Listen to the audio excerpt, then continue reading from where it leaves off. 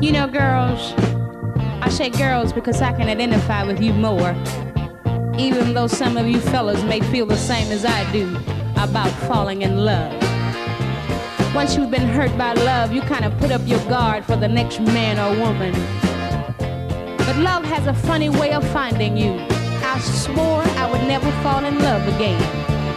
But yesterday, I met myself a real cool fella. Some of you ladies may even call him square. But I call him Mr. TLC, better known as Mr. Tender Love and Care. Now I feel it's happening all over again. I feel myself falling, what can I do? I'm too weak to fight it.